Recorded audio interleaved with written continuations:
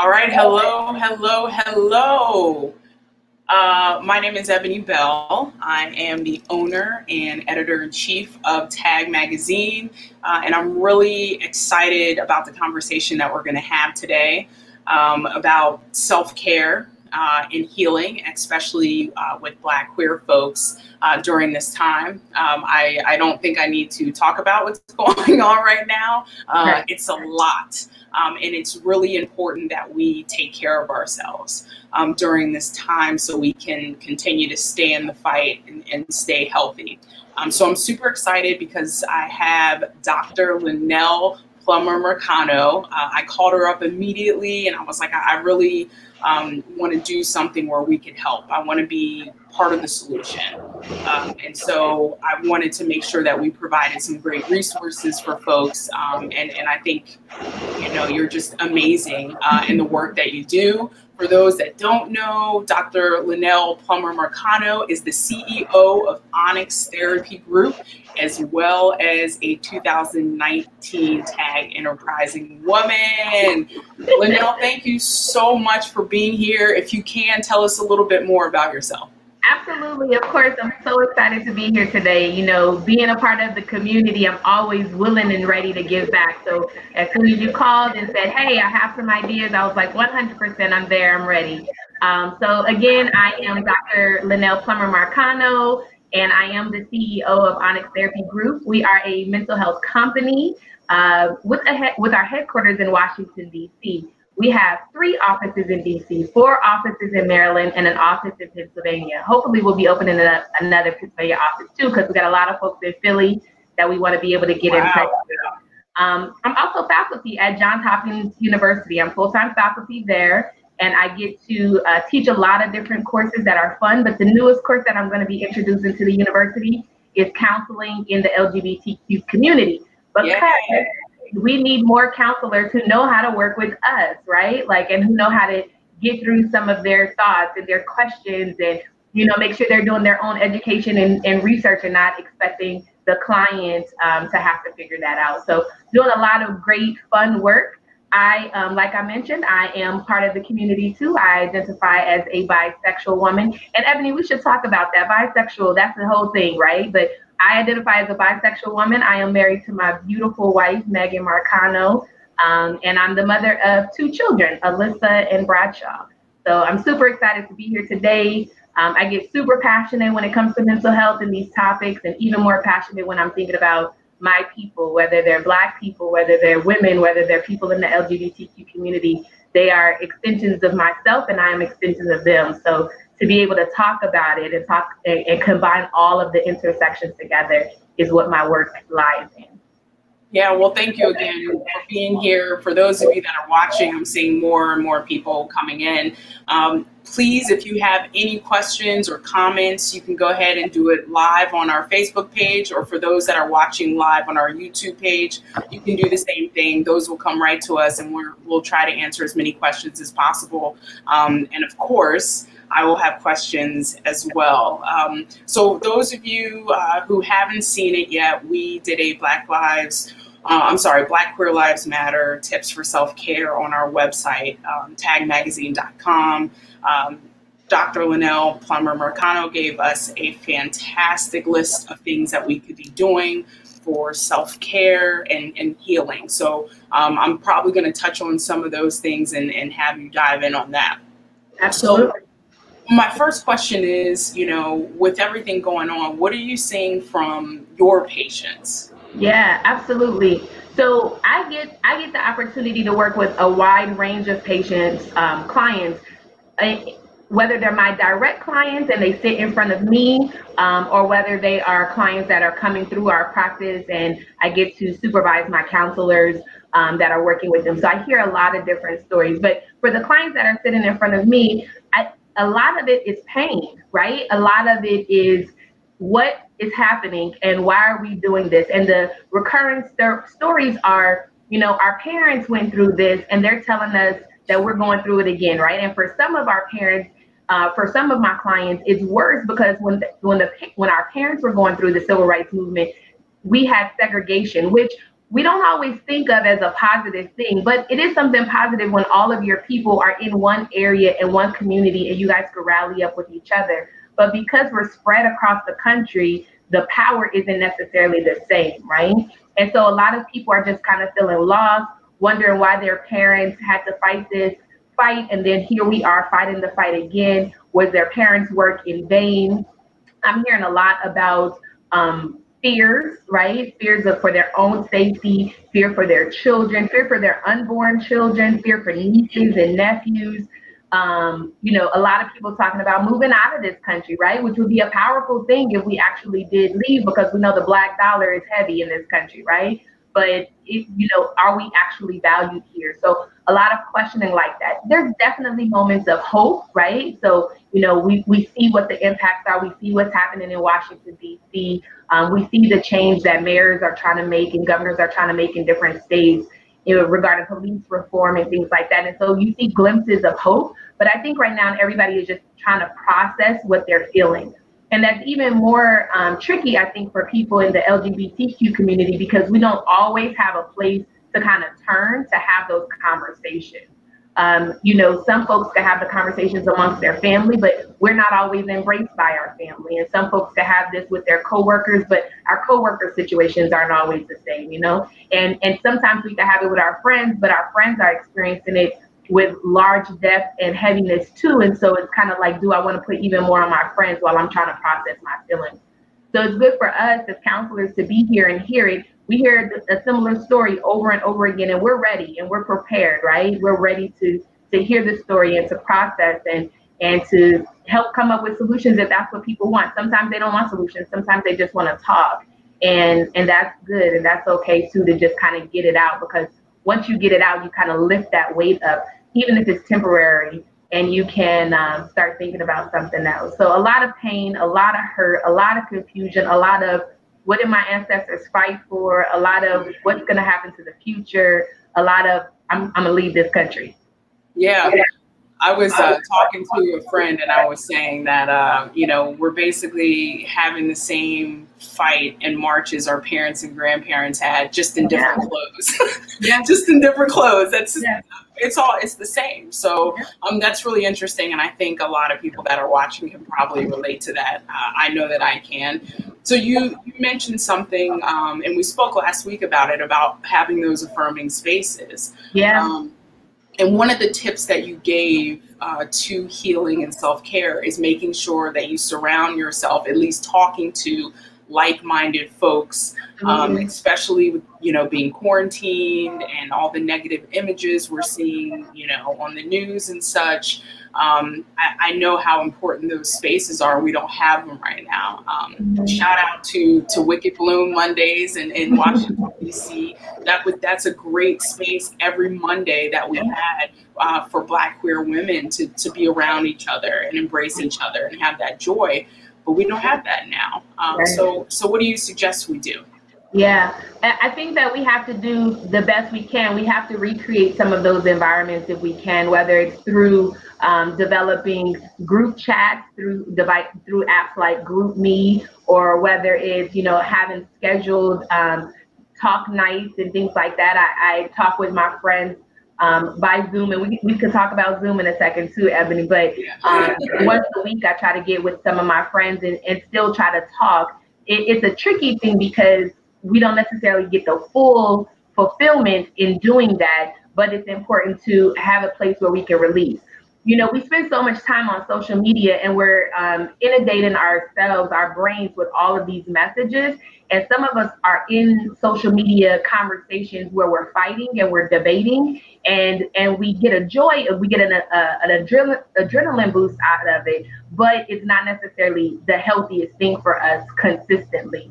And so, some of that time, if we could replace some of that social media time with time with our friends I think that would actually work better. I have so many groups going on right now, Ebone, that bring me joy. I have an accountability group with my friends for workout. I have a sister circle. I have my leadership group for Onyx. Like, and all of those places bring me joy so that if I have to go onto social media um, and I see something disturbing or I'm paying attention to the news and I see something disturbing, I, could, I know that I have these small pockets of people who will bring me joy, even if we're not talking about what's happening politically, even if we're not talking about our the deaths that are happening in our in our communities and the intersections of our communities, it's still a place where we can talk about, hey girl, how many push-ups did you do today, right? And that in itself feels like a release. It feels like a little escape, a little vacation, right? Um, and, and and we need more of that. And and although we want to always again talk about what's happening politically, doing it with our friends always is not always the best or safest place um, because they are going through their their things too. So again, I am a supporter of therapy all the time, always, and I think that's the best place. Going back to like-minded groups, the like-minded groups and like-minded people don't always have to be your friends. You can join pain and sips and talk to people there, right? Because we're doing those virtually. You can do a yoga set. You can do waist beads. You can do a book club. You like the like-minded doesn't have to be just around our identity. It can also be a place where you have hobbies and enjoyment and you get to escape for just an hour. Sometimes we need just an hour to like breathe and relax, right? And so that's what I mean by like-minded people. And we don't have to argue all the time with everybody on social media. Um, I know we have a question around that, and I get really long-winded, but I did want to say that it's important for us when we're on social media to really understand what we're doing when we're on there and understanding the difference between whether we're venting while we're arguing with people um, or making posts or if we're advocating. There's two different mindsets behind it. When you're venting, you're just purging. It's just impulsive. You're just saying whatever you want to say it, and then you have to deal with whatever the consequences are. But when you're advocating, there's a position of teaching that's behind it. There's the intention is that somebody is going to learn something, that there's education behind it. The feelings may very well be the same. It may be hard to, to both vent and to advocate, but it's important that when we open up those apps like Facebook and Twitter and Instagram and we make these posts, we need to know what we what our intentions are each time we type something on there. Because again there's a difference between venting and advocating. And everybody right now doesn't want to advocate right? Because we've been burnt and we are hurting and we're we've been scalded. So we don't want to touch that. And so sometimes people are venting. And that's fine. But just make it clear that you're venting right? Like just make it clear that you got to just get this out of your body. You got to get this out of your mind so that you could carry on and do the work that you need to do for yourself and for your community yeah, I, I love that. And, and, that's a great tip. Um, before, you know, there are plenty of times I read posts or something crazy and I want to light folks up. Yeah. And then I have to take a step back. And I love that. I think that's a great tip for those that are watching right now. Are you venting or are you advocating? Are you venting or advocating? Right. And as you said, it's okay to vent. You know, we're, we're hurt, we're angry. Um, it's okay. Um, but I feel like um, and you can please correct me if I'm wrong. Maybe we're uh, be more um, aware where we're putting our energy. Yeah, we need to be aware of it um, in so many different ways because sometimes we put our energy out and we need reciprocity. And sometimes we're putting energy out and we need a barrier, right? But again, we have to be intentional about what we're what we want and need in those moments. When you're hanging out and you're having these um, these relaxing conversations or these fun and hobby conversations with your friends, you're you're looking for reciprocity in those ways. But when you're in a debate on in- Instagram or social media, you're not necessarily looking for reciprocity in that same kind of way. And so we need to know what we need in those moments too. And and that need for um, interaction is higher now because we're in quarantine, right? Like, and all of us are all of us are in some sort of quarantine still. Even if we have gone out and we protested, we still came home and had to like go through the whole cleansing process and, and all of that. But we are in need of like interaction right now. And sometimes we have to understand what is behind that. Is that interaction because we want reciprocity around our shared values, or is that interaction because we want to educate somebody, or is that interaction just because we're ready to fight, right? Like we have this pattern that we need to fight. Right. So let's stay on the, the topic of social media. We're on it right now. Uh, thanks to those that are watching. Again, I want to encourage you all, if you have any questions or comments, please send them in. Um, this is a great time, um, and we have a great resource right now that we're talking to. Uh, so please take advantage of that. Um, one of the things that you mentioned um, also on social media was no more than three hours a day. Yeah, absolutely, absolutely. Let me give you guys a little bit of science behind this um, this well part part of the reason why we don't need to be on social media more than three times three hours a day is because we're absorbing so much information. Every time you scroll through um, a post your mind registers it. Even if you don't look at all the pictures and details or you don't read the articles and details your mind starts storing that. And so it gets overwhelmed with a lot of information right it's part of the reason we get really tired after we've looked at social media as well. Um, but three hours a day, just so that we can protect our space, we could protect our energy, we could protect our brains and what we're absorbing, and also so that we practice replacement behaviors. You know, it's very tempting when we're at home um, to be on our computers and then to scroll into social media. But what about some of our replacement behaviors, like having the book next to you and when you want to pick up the phone to scroll through social media, instead you read a couple pages of your book. Or if you're an artist and you like to draw, you have um, some art paper near you, and you have your stencils near you. Or if you are a person who likes to create clothes, you have your sewing materials near you. If you're a person who likes to cook, you experiment with some more foods. What happens if we took that time um, that we were on social media and reduce it to only three hours a day, how much more joy would we bring into our life? Because social media isn't always bringing us joy, but we need joy right now because we're hurting. We need healing. We need open spaces to just feel good, and we have to be intentional. We have to put these limits. I have this um, this setting on my phone that tells me how many hours I'm on my phone a week, and it'll tell me like, LaNail, you have been up, wow. or you have been down last week, and I get so excited when I'm down. I'm like, I'm getting down, right? But then um, when I have up weeks where I'm using my phone a lot more, I have to question what's going on with me emotionally that week that I turn to my phone so much, and how can I again find a replacement behavior that's more healthy for my mind, um, more healthy for my soul, more healthy for my healing, and more healthy for for my family, right? That which is an important an important element too. Yeah, so, I, I didn't even know there were apps to do that. That is what a great idea. What's the app that you use? I don't. Need, I'm gonna have to.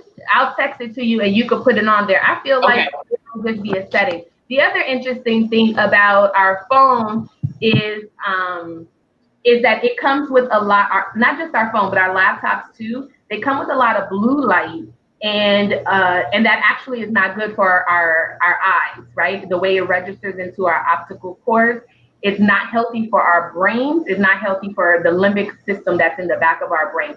And so, if we could reduce the amount of blue light exposure that we have, the other interesting thing that I found out recently too is that the blue light from our computers actually um, is actual light, the same way that it hits our face, and so um, we would need like sunscreen still, and we would need to protect our eyes and things like that because it's still light that's projecting wow.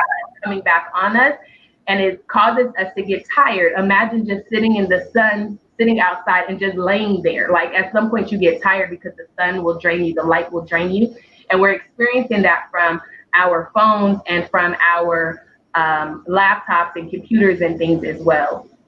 And then let's do one more thing real quick. Yeah, because I told you I have a lot to say.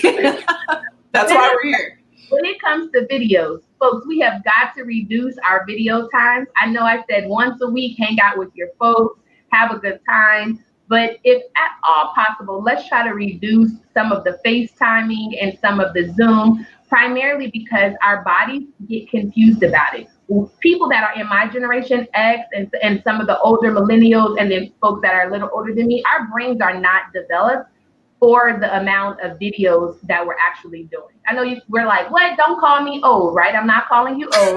what I'm saying is we have been developed to respond to interactions by what we see. We can see the person, we can hear the person, but we're also used to feeling the person. We're used to getting a uh, energy feel from them. So not feeling like emotions, but actually feeling their energy, actually feeling their aura, actually feeling their chemicals, actually feeling their pheromones, actually sensing and feeling all of that. And so our brains get confused because we're on video and our brains are, are thinking, so I could see the person and I could hear the person, but I can't feel the person. And so then our brains are starting to work even more because we're trying to figure out why can't I feel this person? We get super tired. What's happening with our brains right now is crazy, guys. Our limbic system is overly activated. Our amygdala, which is where we get a lot of our feelings, is overly activated. Our frontal lobe isn't working at the same capacity, even though our jobs are expecting us to be as productive and we're also in fear based off of the pandemic, based off of what's happening socially, politically, based off of the deaths in our community.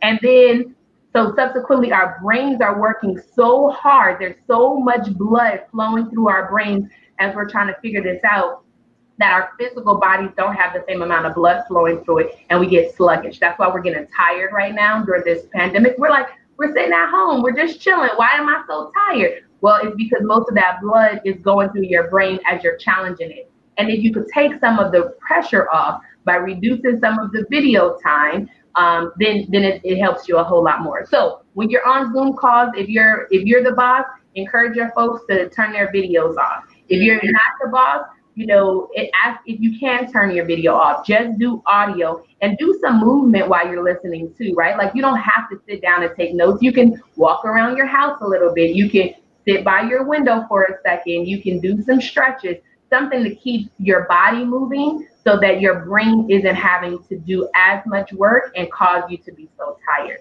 I told you I talk a lot, Ebone. I'm sorry. No, this is this is what we're here for. I'm not the I'm not the expert. Um, I'm just gonna shout out a few people. Amani said, "Ooh, three hours. I need to try that." Amani, you and me both. Um, I'm gonna try to work on that starting today. I'll let you guys know how that works. Um, I apologize if I'm about to mess this name up. Uh, Jossery uh, says it feels exhausting. Uh-huh. Uh, like everything you were talking about with video and social media yeah. and, and all of that. So I totally uh, get all of that. Is that um, Jossery? Was that Jossery Molino? Yes. Uh-huh. Jossery. Hi, Jossery. That's one of my friends. okay, per- and I and I got the name right. yes, you did. I'll yes, take it. Did. I'll take it. So something um, really fun that uh, you mentioned in the piece was going back to um, childhood pastimes, like yeah. coloring books. So I have to say, I after reading it, or I guess interviewing you, um, I put on my list, like my grocery list, coloring book, because I'm like, it's actually really good idea. Like, hold on, I have to show you this. I'm at my desk. I doodle like when I'm on the phone, mm-hmm. um, and I and I feel like it's really therapeutic. Um, so like, look at this. See this? Yes. oh, that's perfect. Oh, that's nice. So I do weird stuff like that, but it's like therapeutic. But I can still listen yeah. to the audio of the Zoom, like you said, or, or, yeah. or things like that. So talk about these um, childhood pastimes. I, I love this tip. Yeah. Um, going to your doodling and the coloring book, part of the reason it's therapeutic is because there's a release when you do your eye hand coordination. As you're doing eye hand movements, it naturally levels out your breathing. So you you people can never really be um, breathing heavily as they're using their hands and they're looking at something. And so that's why it feels therapeutic for you because it calms your body, it calms your heartbeat, and it allows more flow through your body. But part of the reason I was talking about pastime, um, it, it, reintroducing yourself to pastime experiences is because they are relaxing. Think about when you were a child and something happened, you automatically went outside and played, right? Or you played in your house. And playing allowed you to kind of um, either process what you experienced or it allowed you to have a getaway. Not an avoidance of what was going on, but just a time to kind of get away, right? And and so that may be that you were coloring. That could have been that you were playing jack. That could have been that you were doing hopscotch. That could have been that you were um, doing all sorts of things, sitting, watching cartoons. You know, my wife um, loves watching cartoons. So there's times when I just watch her and she's watching cartoons and I'm coloring in my Minnie Mouse coloring book, right, with my crayons. But there, there's um, something therapeutic in that element and it's also an element of nostalgia. And we need these positive moments of nostalgia right now. We need memories of when things were a little easier for us. And and not easier because things weren't happening around the world, but just because we had moments of escape and we didn't necessarily know, right?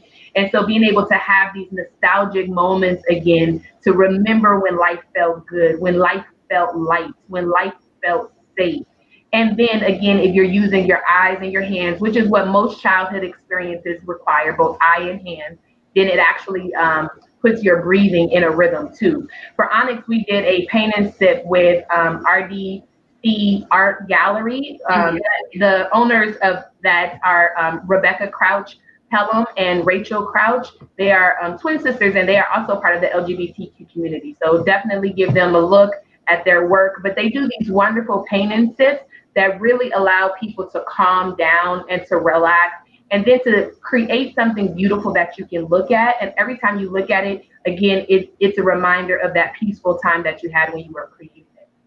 So connecting back with our child time, um, child childhood memories. For some of us, it was making popcorn on the stove, right? Because we didn't always do the microwave thing. But whatever made you feel good, it was beading and making cute little beads and necklaces or bracelets or you know, playing with dolls. It's we're not above playing with dolls. I am very much happy when people play with dolls. In fact, in therapy, we bring in um, sand trays and figurines, and we ask people to play with, play with dolls. And adults are like, "I'm not playing with these dolls." Next thing you know, Ebone, they don't want to leave the office, right? They just want to play with their dolls.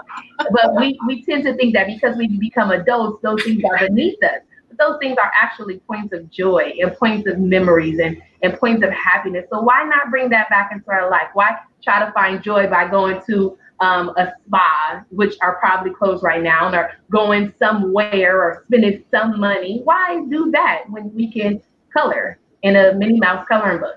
Yeah, and joy joy is important. Um, I was I've been reading some pieces about how um, black joy is basically a form of uh, activism and or resistance. It is. Um, really think about it. Like I, I know um, for me, um, in some weird way, uh, it's like I, I, felt guilty about having joy at some point. Um, you know, taking a step back, obviously, as a as a magazine, and I'm like, this is a really fun article, but I, you know, should we post this? You, yeah. you get what I'm saying? Yeah, so, um, how do you how do you balance that? Yeah, um, it's so funny that you mentioned that because right before I I um, came on with you, I just finished one of my books that I've been reading, and I I um, emailed all of my or text all of my friends these little friend groups I'm telling you about, and I told everybody, guys, guess what? I finished a book today. I did something so unprecedented. I did not work. I just read all day. And they were like, go girl, you know, we're so excited for you because those are points of joy. But I think um, you have to know your own work style. You have to know your own work uh, ethic. You have to know your peak times. Peak times are really important to know when you are the most productive of the day and when you're not the most productive of the day. I love talking to my folks about peak time because it at your highest peak, that's where you're the most productive, and that's probably where you can get a lot of your work done. And when you have these lows in your peak times, you're in a low moment, that's probably a time where you can do something very relaxing, like reading a book or doodling or coloring or playing with something. The first, so the first thing is to know when you're the most productive. And then be okay that you're not going to be productive all the time. Like I said a second ago, our limbic system in our back of our brains are completely activated right now, which makes it hard for our frontal lobe to be operating at its highest level of work. So now is not the time to try to um, be innovative with ideas. Now is the time for maintenance, right? And for relaxation. It is something powerful in terms of why the earth, why we have to stop everything right now. Like, has the universe not told us to sit down, right? Like, it is time to sit down. I think if we're going to talk about activism and advocacy, I think right now we need to sit down because right after this quarantine, we need to go full throttle ahead, right? Like, there is reform that we have to make There are changes that we have to make. We have to heal ourselves in, in, in terms of mental health and things like that. And now is the time where we get to just relax. But most people are not trying to relax, right? Like they're trying to push through because of the country that we live in, where we always have to be productive. Every single moment has to be a productive moment. Um, and as a Virgo, I understand that. But I also know that that is not healthy for us. That is how burnout happens. That is how we get numb. That's how we stop liking our jobs. We stop liking our people. We stop liking our friends. It's because we get burned out and we think we have to move all the time and we don't. So to answer that question, I think the first thing is to connect with self, to understand your peak times, um, and then to have again replacement behaviors that are close nearby you. These fun activities don't need to be so far away that you have to walk all the way around your house to go and get something, right? Like keep some of this fun stuff next to you. You're about to do a video, have a coloring book next to you. You're about to, you know, cook some cook a, a nice meal just have something fun, childlike next to you. Play cartoons in the back, but have those things easily accessible so you don't have to work so hard to find joy. We shouldn't have to work so hard to find joy, especially right now. Mm. I love that. Um, I'm just reading some of Jacqueline says, Amen. Uh, Monty says, burnout is real. Um, and Stephanie says, sometimes I set up a mini fort in my room and color inside of it. Very yes. therapeutic. That is amazing, Stephanie. Oh my gosh, Stephanie. Remember the little port the little forts we used to make with like our couch pillows and stuff yes. like that? You get like little pillows and a sheet over you and, and things like that. One of my friends said that they have a, a cardboard um a blow like a cardboard tent that people could kind of get into, right? Like, yes, we absolutely should um, be doing those things to feel to feel good. You know and, and, it made me think about for a quick second when we when we come out of surgery or when we're in extreme pain um, for something our medication is always next to us. Our medication isn't in another room. Our medication isn't in a tucked away in a in a file cabinet. Our medication is next to us. When we're in pain we need some sort of relief. We're in pain right now people. We are in pain we are watching our people die. We are watching Black people die across this country. We are watching allies getting hurt in the process of trying to help us. We are watching our, our LGBTQ members, our trans women and men hurting. Like we and we watch it. Like we we have seen a live lynching in recent in yeah. recent weeks. We have seen in real it. time. Keep, keep your coloring book near you keep something that is going to bring you some joy near you because you are in pain and it's okay. You know, as Black people and as people in the LGBTQ community, we have tried to hide for so long and like we've been socialized to, to dim our light. Yes. yes. When we bring attention to ourselves, we bring harm to ourselves. So we're so used to like hiding and cowering in in certain ways um, that we don't even acknowledge the pain. Like we we we're still afraid to even say like this is pain. And when we say it, sometimes it comes across as anger, and that's perfectly fine. But then the anger is a secondary emotion. There's always an emotion underneath anger, whether it's fear or disappointment or confusion. Sometimes we need to acknowledge those primary emotions too, right? Like I I am effing confused with why this is still happening, and, and being able to say that and know the the the reactions that come from that and know that that causes pain and you need to heal. And going on the social media all the time isn't helping the healing process. That's like stretching out that pain again. And you don't need to do that right? Like get your information have your entertainment that you get from there but limit that to three hours and replace it with things that bring you joy. Write stories write journals paint color play watch cartoons, watch old time love movies. I don't care. Just, just. Play with your makeup. I don't care. so what I'm what I'm hearing, and by the way, this laughter is it's I mean, I don't even know the last time I've laughed like this, honestly. Yeah. Um yeah.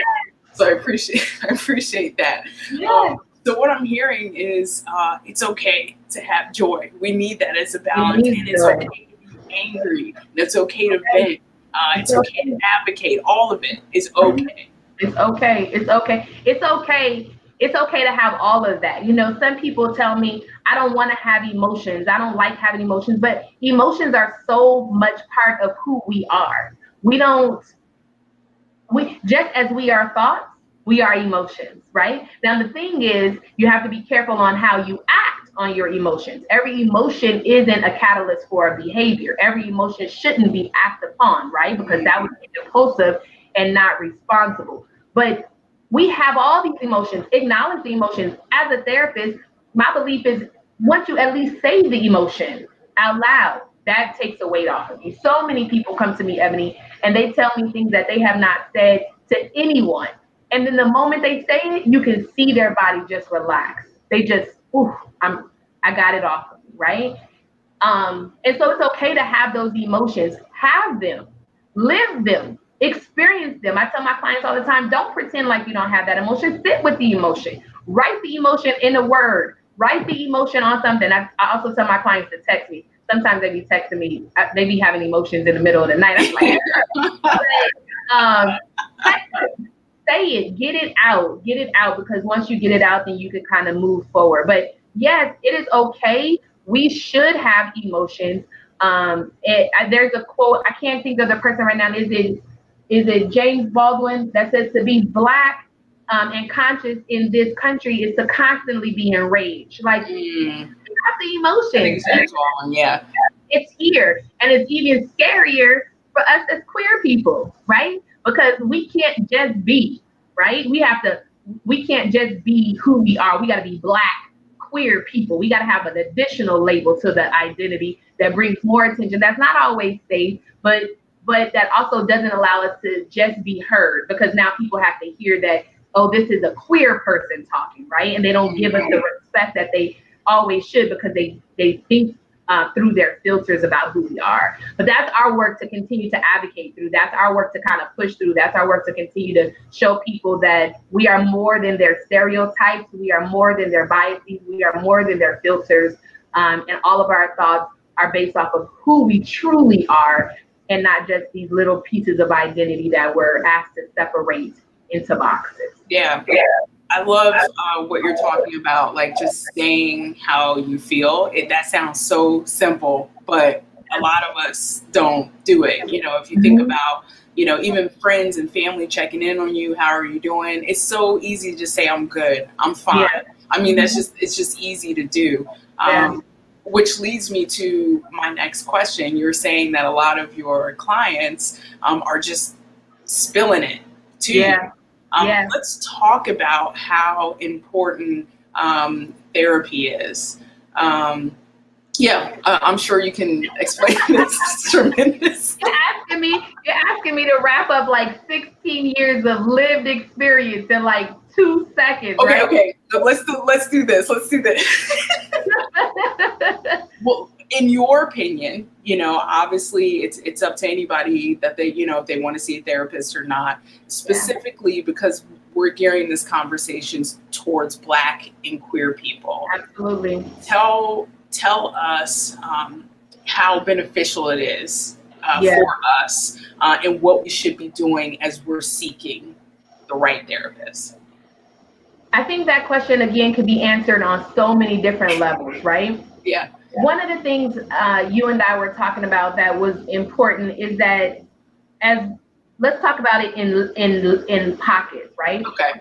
As black people, we were consistently socialized to keep our family business in the house. Yep. Do yep. not air your dirty laundry. We don't care what is happening in this house. If there's domestic violence, if we are not eating, if you know, if there is abuse, whatever the case may be, we're told you keep that in the house, meaning you can't even tell your cousin, right? So we were socialized to keep secrets.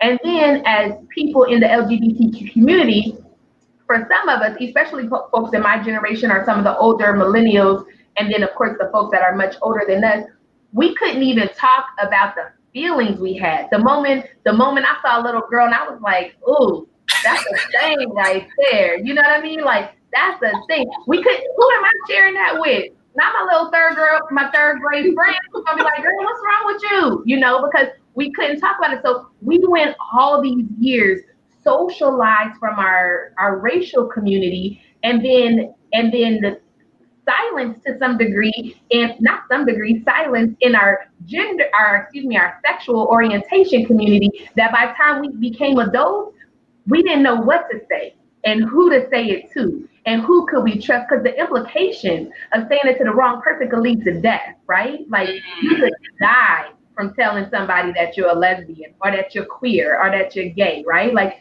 you could get more consequences for you and your family if you said that you guys weren't eating at home, right? Because you could end up in some sort of system. So then we had years, decades worth of just holding secrets and being reinforced by family to tell secrets. And then we say, then somebody says, LaNail, you need therapy. What? You want me to sit in front of this complete stranger and tell them 20 to 30, or in my case, almost 40 years of, of secrets? 40 years of thoughts, 40 years of feelings. What are you saying to me, right? Like, so the moment a client calls us at Onyx and says, I want therapy, I am trying to make all the arrangements happen, right? Because the, just the courage to say, I am ready to start talking about this is a really big deal. So, what I find though is that most people don't interview us most clients don't interview their counselors. And and I think it's because they think all counselors are good. Now let me tell you, shout out to Onyx. We are all amazing, right? of course, of course. And I have a good network of counselors um, outside of Onyx that I actually that I make lots of referrals to because they are amazing. But I'll be honest with you, Ebone, every therapist is not good. Every therapist is not good. And when you have cultural implications on silence and then you have uh, in terms of race and then you have another cultural implication on silence in terms of your sexual orientation. And then for some of us if you have another cultural uh, implication of silence based off of your gender the person you finally decide to speak to needs to be ready for all of that. And how do you know if they're ready? You interview them. Ask them the questions. Ask them the hard questions. Any good therapist is going to be excited that you're asking questions because it's going to show us that you are very much interested in our work and how we're going to help you, right? You wouldn't just go into surgery without asking your surgeon how many times they've done this work. So why go to your therapist and not ask them how many how many folks on your caseload are part of the LGBT? Mm. What are your thoughts around racial discrimination? What are your thoughts around this? We as counselors are told to um, to have a certain level of objectivity. But that that's because, or not just objectivity, we're told to have certain um, barriers uh, so that our clients don't fully know who we are. But that only worked because the history of psychology in this country is based off of white men in Europe, right? Therapy was developing all over the world, but before, but because of language barriers and publication barriers and politics, therapy that started in the continent of Africa is not popularized today, but Freud is from right. Europe, right? And so these those founders of psychology have these ideas that we're not supposed to engage with your therapist. But culturally, as black people, as people in the community, we want to understand that a person relates to us. They don't have to have the same experiences as us, but they understand that. So so I don't have to be in a therapy session teaching my therapist what it means to be bisexual and how bisexual is different than lesbian, even though I'm married to a woman, right? right. Like I shouldn't have to teach my therapist that. I should know whether they know certain things by interviewing them. So, what kind of questions do you need to be asking your therapist? Where did they go to school? All schools are not good schools, right? They need to probably go to schools that are going to have a high level of interaction where they got a lot of time to practice therapy before they actually graduated beyond practicum and internship, they needed to go in lab courses. They need to know who are their sort of therapy mentors, who are the people that they're watching in the field. They need to, you, we need to be able to ask, what are your thoughts and opinions around racial discrimination, mm. around gender expression, around gender identity, around sexual orientation? We need to ask those questions. They are not just giving us the intake, like I'm talking as a client. Your counselor is going to ask you a lot of questions that first session, and you need to be asking them questions. because if you don't, you find yourself sitting in a session six months down the line and realizing that you have not grown. And everybody is like, well, LaNail, didn't you go to therapy? Yes. Oh, great. You and these therapists, ask them questions. If you are trusting them with your life, your mental health, your mental health. Yeah. You need to have, you need to ask questions. You can't just go blindly into these conversations with folks. Right. And your mental health is priceless. There's no price on that. That's it's priceless. Sure. And, I, and nothing else can fully work. Your, your physical body can't even fully work if your mental health isn't strong. So we have to be serious about this. And and I hate to say it, but some of my colleagues in the field are not prepared to work with us in the LGBTQ community, which is why I'm introducing that course to Hopkins because I need more counselors to know how to work with us. Work with us. Yeah, it's it's true. I've experienced that. So everything you're saying, I've sat in a room with a therapist that like just didn't get me and I felt like was judging me. And they may have not, but I just felt like they didn't they didn't have the experience, you know? Mm-hmm. Um, and, and I also like what you said, and I'm going to get to some of these comments and questions, by the way. Um, I like what you said. Um, obviously, it's nice to sit across from someone who does, you know, look like you and has that experience, but um, you don't have to. Um, mm-hmm. uh, one of the best uh, therapists I've, I've had um, was actually a trans man. Mm-hmm a white trans man and, and i felt so comfortable because he had that experience with all of our community yes. um, and i was able to ask those questions um, yes. so I, I, think that's also a great point as well um, let me say um, appreciate that breakdown of silence because our silence will not protect us no it doesn't our silence does not protect us in fact sometimes our silence is more of a weapon that we use against ourselves, right? Like we can't heal what we don't acknowledge, right? We can't. You think about your physical body. Um, if if you have this pain in your abdomen and you never go to the doctor, then you can't heal it. You're just sitting there with it, and it's growing and it's causing more issues and more infection. The same thing for our mental health. Like if you don't say it, if you don't acknowledge it, if you don't address it, then then it causes more issues. And the truth is that sometimes, Ebone, we're scared to acknowledge some of that stuff. Sometimes we're scared to say that somebody hurt me that much because then we think, oh, I'm giving them power, or oh, it's gonna stop me, or oh, I'm gonna have this breakdown. But that's not gonna happen. It's not gonna happen. Like I've worked with hundreds of clients in my 16 years of experience, and very few of them have had a breakdown to that to a degree where I had to get them hospitalized. And when they did need to get hospitalized, I was right there with them.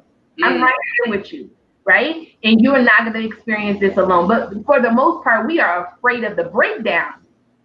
But it's not likely to happen. It's not likely to happen. And I know people are like, LaNail, you know, are you sure about that? It can't, I have 16 years of experience here, folks, and I experience therapy for myself. I go to my therapist every Friday at 10 o'clock. I love her. And people say, why do you go to therapy and you're a therapist? Because I need, I want to talk too. Yeah. I want to get out too, right? Like, and I want to be a role model for therapy. I don't want to just say I'm a therapist, so go to therapy. No, I know the vulnerability that it feels to sit across from a counselor and then share your darkest thoughts, right? Or share, you know, some of your most confusing thoughts. I know the feeling. And so that makes me a better therapist because I know how to be a client too. Yeah. Uh, Michelle, thank you for that comment. Um, we have a really great question um, from Melanie. Melanie asks Is there a difference between a therapist and a life coach? Great question. Yeah, there is. Therapists are trained in um, in more psychological processes, um, and so we are trained in different theories that are specifically connected to um, our psyche. So our brain in terms of the neurological functioning, as well as our mind, which is a connection to our cognitive, our cognitive functioning. And we also have different approaches, whether we're addressing it from feelings, we're addressing it from thoughts, whether we're addressing it from behaviors. And a lot of it has to do with um, emotions and the expression of emotions and how we kind of navigate life. Life coaches are coaches. Think about um, when you play a sport and your coach is seeing where some behaviors are off and they need to coach you so that you could achieve your goals. So think about a life coach as a person who coaches what's happening in your life behaviorally. So they're looking at your behaviors. Some life coaches will talk about the, the psychological um, processes and implications, but most won't. Most life coaches are focused on what are your behaviors and how do we help you meet your goals what kind of changes do we need to make in your behaviors to help you make your goals counselors are thinking about um, your psyche and your emotions and um, your childhood development and, and your identity and all of those things that are uh, much more uh, encompassing of who you are. Right. And you said counselor. Um, uh, it's funny. Uh, Amani is saying, so what's the difference between a therapist and a counselor? Uh-huh. And then Melanie has followed up and said, um, do you recommend having both? I guess she's uh, asking life coach and and therapist. Um, so it's a lot going on here. Yeah, yeah, yeah. Therapist, I, I often use the term counselor and therapist um, interchangeably because I identify as both. But um, counselors are are focused very much on a wellness model. So they focus on how we prevent things from happening, um, how we empower our clients, and how we use their experiences to create a better, help them create a better life.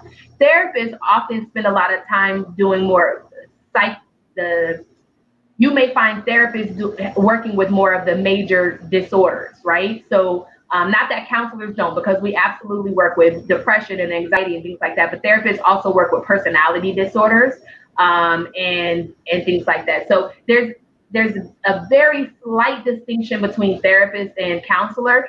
Most mental health professionals, whether they're social workers or counselors or psychologists, can also call themselves therapists based on the population that they're working with.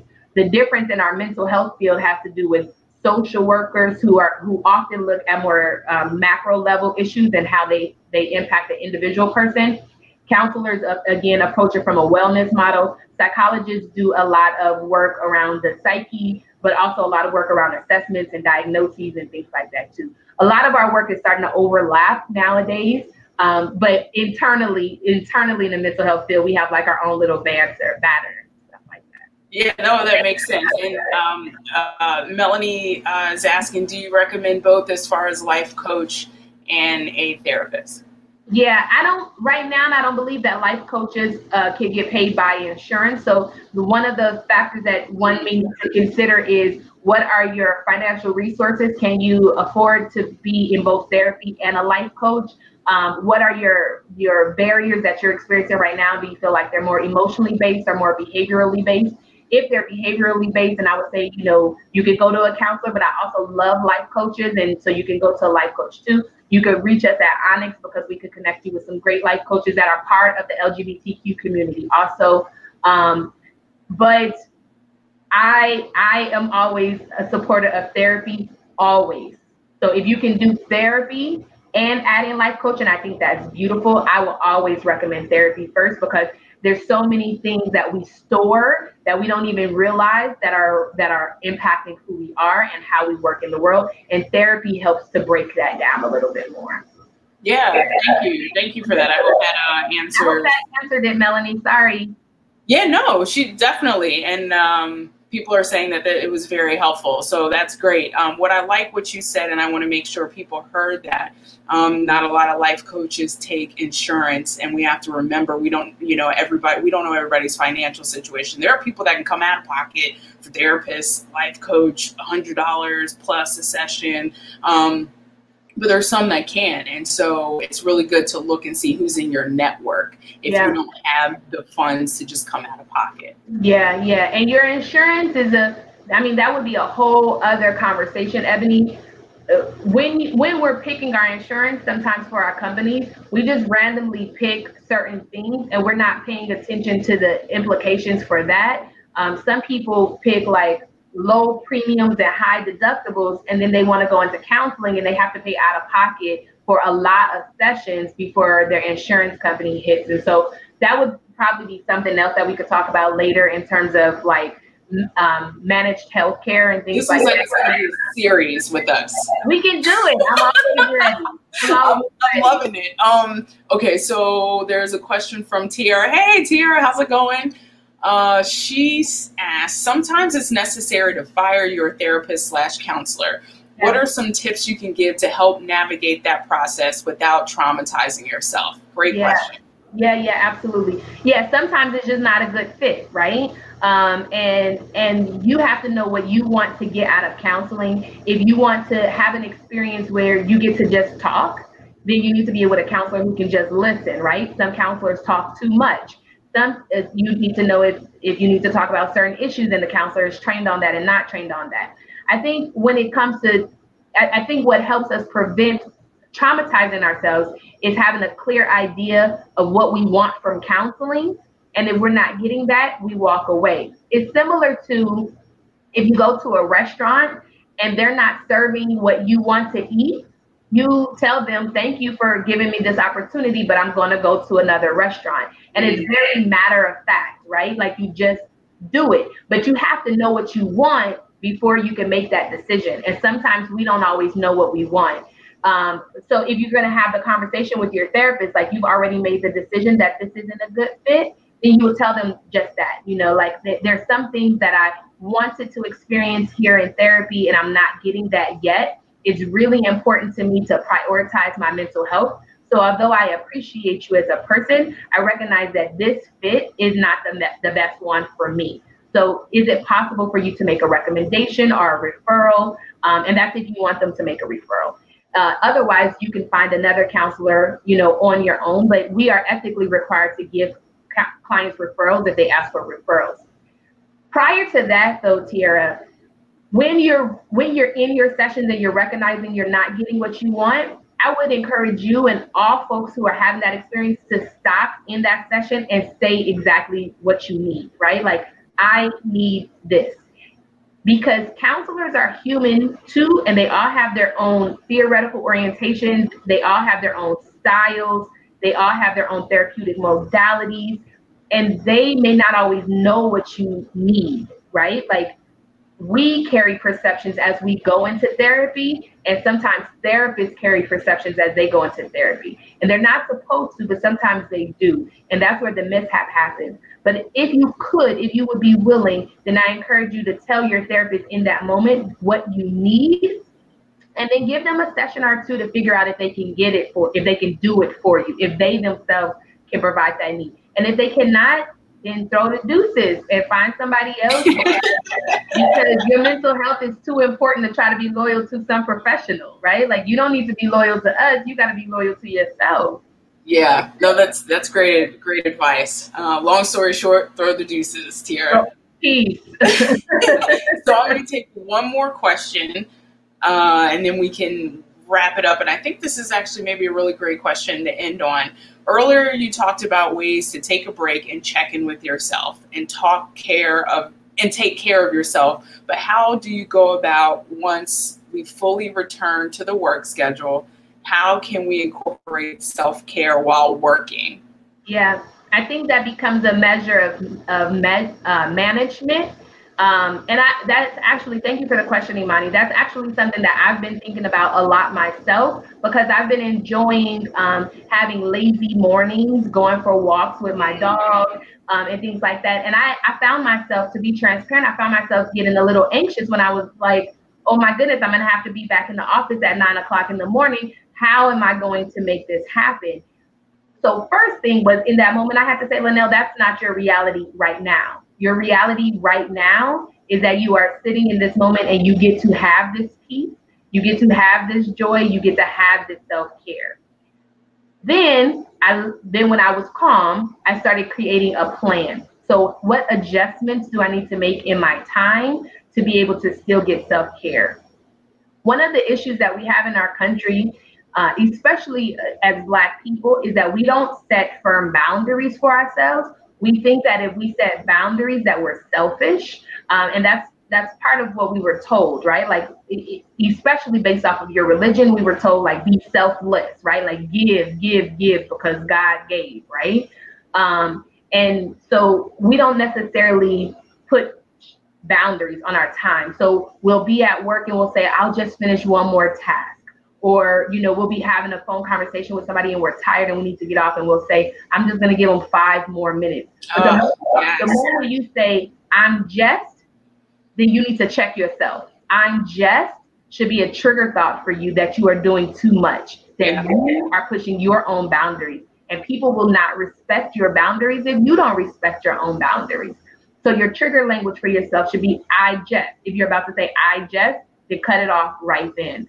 Um, but make sure that you that you have some sort of plan for your self-care. Again, your self-care doesn't have to be always going outside. It could be coloring in a coloring book. It could be doodling somewhere. You know, your self-care can happen in many places, uh, including at work. You know, you can have a self-care break. I, I um, know Imani personally, so I know that she's a teacher and so she might have to carve in some additional what that looks like and have conversations with your supervisors, have conversations with your bosses around um, how how there needs to be a shift in culture of work environment to allow for self self care because we're all going to be healing when we return back to work. Yeah, that's that's great, and it's a great note to end on. I, I love uh, the whole "I just," yeah, I'm just going to. That's yeah that's a great tip. Um, and it's in the realm of being able to say no as yeah. well. You know what I mean? That we haven't been taught that. We haven't been taught that though, Ebone, right? Like just yeah. like we haven't always been taught financial literacy, right? Which is right. why sometimes we're making the same mistakes that our parents made. We haven't always been taught to say no. Um, even and it starts in childhood. I know we're about to go, but it starts in childhood for all those parents that are listening right now don't make your children hug people that they don't want to hug. Oh. That's the, um, that's that's when you first tell them that their intuition is not right, and you tell them that their boundaries that they should not have boundaries around people. That's the that's one of the first lessons. Go over there and hug such and such. If they don't want to, it's not rude. It's that they get to create their own boundaries for themselves. And sadly, uh, as Black people, where respect was so important for us, um, the respect sometimes came at the at the expense of our own boundaries. And so we don't always know how to say no and we don't always know how to how to you know follow our intuition. Although we are very spiritual people we are the first people of this of this world um, and and give given the gift of intuition but sometimes we don't always follow it because we've been socialized um, to not have boundaries. And so that's why it's harder for us to create boundaries and it makes it even more difficult if you sit at an intersection at the identity of a woman um, because that women were also socialized to not have um, boundaries right? Yeah. even so that when we get violated we get blamed right? It's because we didn't do such and such but but that's not that's not fair and it's not the case and we really have to shift how we talk to people and and promote having boundaries and promote when people say no and, and recognize that we have to say no to take care of ourselves. Saying no is an act of revolution. Saying no is a matter of self-care. I was going to ask you what's what's a great note to end on, and that's that's it. Saying no is yep. uh, seriously. Um, that's a that's a great point. I'm sure some parents that are watching really appreciated that. I, I, never thought of that. I just thought the whole hugging thing is creepy in general, but it, it also makes sense as far as the boundaries and things go. But I, I just want to say thank you really quickly. How can people find you? Yeah, um, absolutely. Yeah. Well, with this with this long name on the screen, all you have to do is Google it, right? Shout out to my in-laws and the Marcano family, right? I a hyphenated. Um, but I can be found at on our website at um, www.onyx, uh, O-N-Y-X, therapy group. We're also on Instagram and we love followers because we love putting out all these cool messages. Um, but we are onyx underscore therapy underscore group uh, on Instagram and that connects to our Facebook also. The best ways to get in contact with us is through our email. We have a policy of responding within 24 to 38 hours. It's really difficult when I give out phone numbers because sometimes people call and they want to talk to somebody, but we're therapists. So we're usually in sessions and not always available to pick up a phone, but we respond to emails um, quite often. But hit us up on our website. We put a lot of great information up there. Follow us on Instagram and we have um, amazing counselors. We have, I think, 14, 15 counselors right now working with us, and, and they are doing amazing work um, with the company and on their own too. So come and see us. Many of us are part of the LGBTQ community. We have the same ideas yes. as well. Um, and, and we're here to work with our folks. We're here to serve. Awesome.